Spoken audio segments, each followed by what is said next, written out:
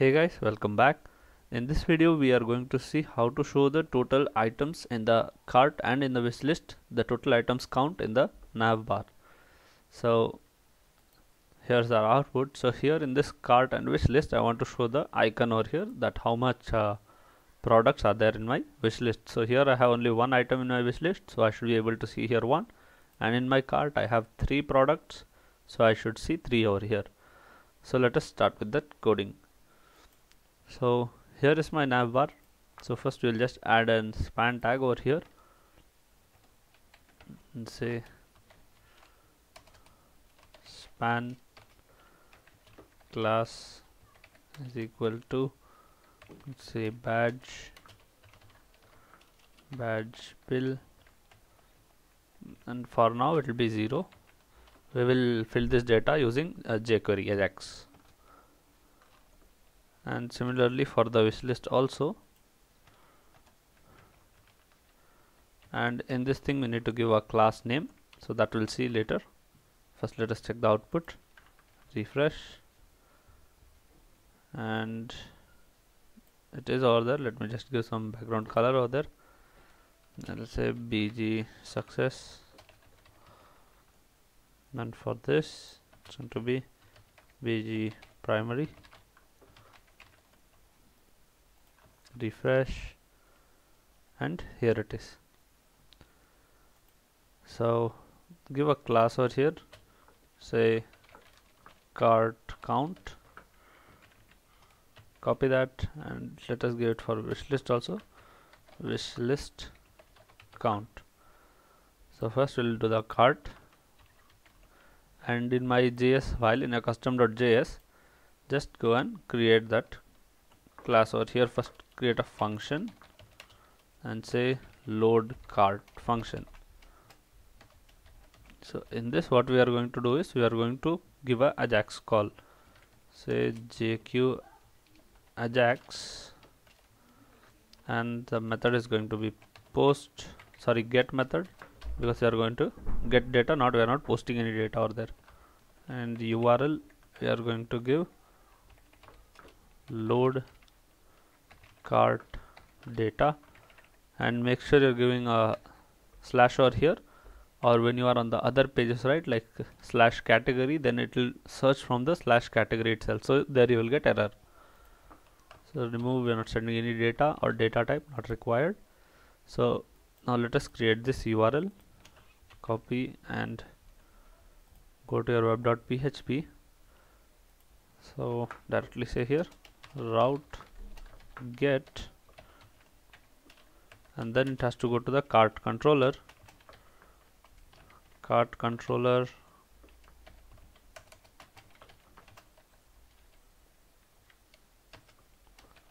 Class comma to the cart count function. Copy that and go to your controller. And here we'll create a function say cart count no arguments. And here we will get the count of the total cart items. Say dollar count let's say cart count equal to cart model where the user underscore id is equal to the authenticated users id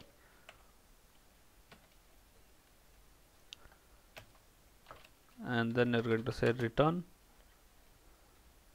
response json here's the status or you can say count.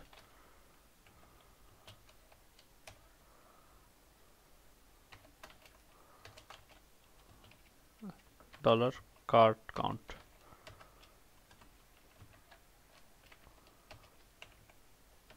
add a semicolon over here. And this thing is going as a response right? So just take this and go to your js file. It's over here.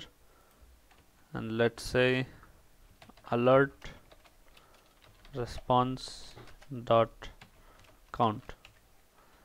Let us test it. So this function we have created right? So once on the page reload we need to call this function. So I'll keep it on top. So once the page loads it will be called. And then whenever we are adding uh, item to the cart and all that time we need to call it. So let us refresh and check. Object. Let me just console log that thing. Say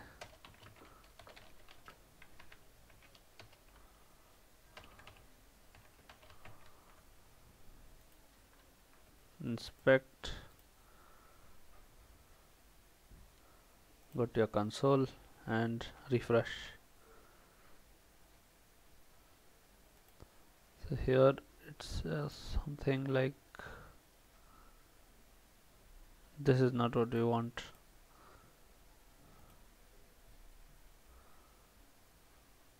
Go to your controller and let us check. Okay so I have not gotten the count over here. Yeah not look perfect refresh and here it is you can see 3 so I have 3 items right? So once I remove this I need to call this function once again. So it will show here 2 so before that let us just append it in the nav bar over here okay? So this cart count. Copy that and here we are going to paste it. So say jq html set. And here this is the class cart count. And we'll just make it empty first. That zero value which we have. And now we are going to say html jq html set. Paste that. And here what we are going to say that value response dot count copy and paste. We'll comment the console log and let us check. Refresh and it will be visible over here. No it is not.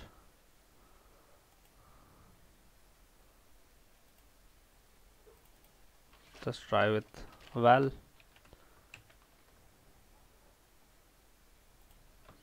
Comment this out. Refresh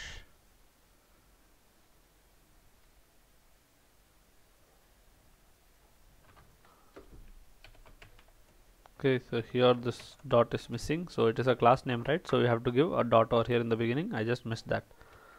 So now let us just go and check our output and refresh.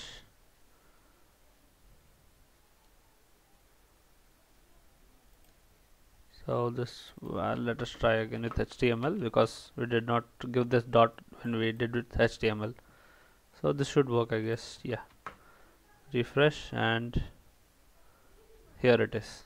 You can see that 3 is or here cart count. So once you go on home or anywhere now it has been reloaded right? So that data will come over here. I'll remove this console log. This function I need to call it when I am removing an item from the cart and when I am adding a product to the cart. So here you can see add to cart button. So in this success I need to call that function once. So load cart and in the delete cart item we have a page reload over here. So not required. It will automatically load because we are we are reloading the page right? So on page reload this function is being called. So this thing is done right? So we'll do the same thing for the wish list also. So just quickly paste that and change the function name to load cart to load wish list.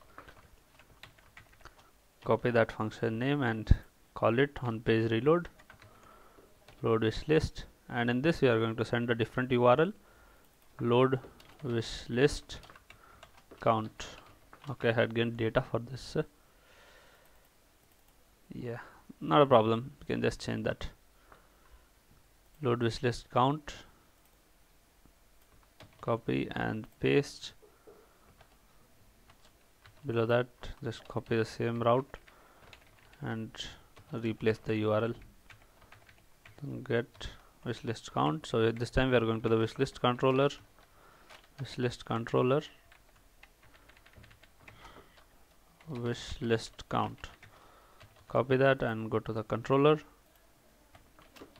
Function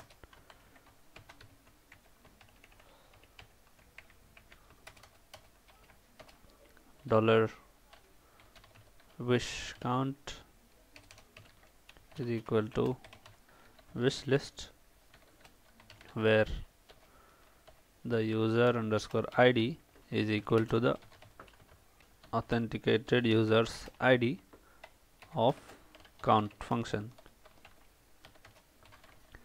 Then return response of json say count. Dollar wish count. So copy this thing and go back to your js file. And here we have response.count it's the same. So just this class name we need to change. So go to your navbar and here you can see wishlist count class we have. So go and says control D and select both of them and paste. So load wish list. Copy that and when you add a item to your wish list here it is add to wish list. We need to call this function. Load wish list and when you are removing an item from wish list I think we have a page reload over there. Yes so not required. So now you can test it save and let us go to our browser and refresh. Close the terminal. And you can see here it is our cart we have three and wish list we have one. Let us go to that place and you can see over here. So once I remove this you are going to get zero over here. Okay. And you can see we have zero in our wish list and in our cart we have three. So let us test this with uh, adding an item without page reload so here now the page is not going to reload but this thing has to change. So when I say add to cart okay and this thing is not changed. Just refresh and check if it is added or wait. It's already in cart right? So it did not add over here okay. So let me just try with headphones and say add to cart. Added and you can see it became 4 over here let me add to wish list? Added to wish list. You can see it became one over here. So it is working perfectly guys. So that's it in this video guys. We have seen how to show the cart and wish list count in our navbar. So thank you for watching this video. Please like the video and subscribe to the channel. Thank you once again